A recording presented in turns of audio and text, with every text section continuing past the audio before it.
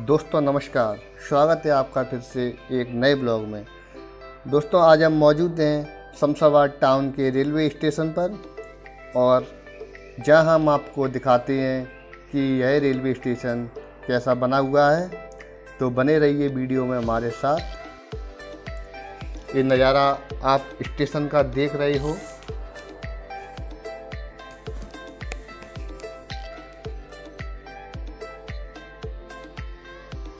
और यहाँ पे आप लोगों को मिल जाती है टॉयलेट करने की सुविधा। ये यहाँ बनी हुई है। यहाँ ज़्यादा भीड़ नहीं होती है तो शायद इसका यूज़ भी अभी नहीं हो रहा होगा, क्योंकि बंद पड़ा हुआ है फ़िलहाल। क्योंकि एक ही ट्रेन आती है, ज़्यादा ट्रेन इधर से आती नहीं है। और यहाँ आपको बैठने के लिए चबूतरा बना हुआ है। और फिर इसके आगे आपको पानी पीने के लिए भी सुविधा मिल जाएगी। और ये पानी चेक करते हैं, पानी सब में आ रहा है या नहीं आ रहा है। तो देखते हैं दोस्तों। पानी इसमें पूरी तरह आ रहा है। इसमें भी पानी पूरी तरह आ रहा है।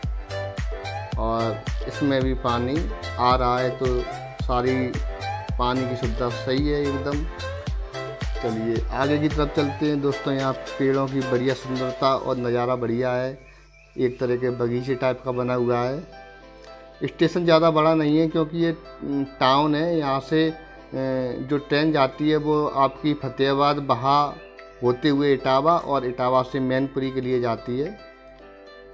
जिसका टाइम शाम को अभी फ़िलहाल पाँच बजे का है। टाइम चेंज होता रहता है। तो टाइम आप कभी किसी को जाना हो तो एक बार कंफर्म ज़रूर कर लें। और टिकट वगैरह की सुविधा सब यहीं पे मिलती है।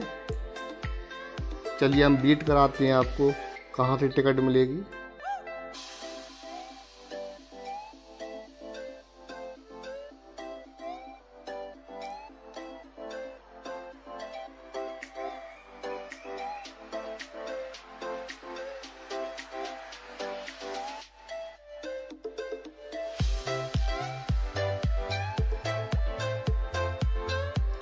और ये सामने स्टाफ रूम बने हुए हैं, जहाँ रेलवे का स्टाफ रहता है।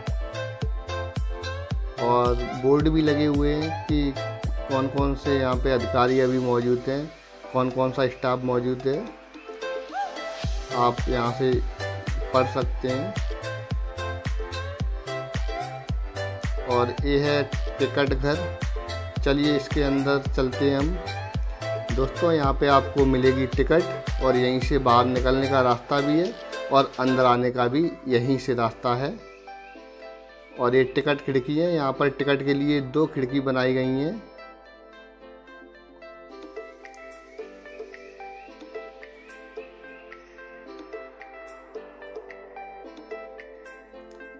और यहाँ से अब यही बाहर निकलने का रास्ता है। और यही अंदर आने का भी रास्ता है। ये सीधी सड़क आपकी शमशाबाद मार्केट के लिए गई।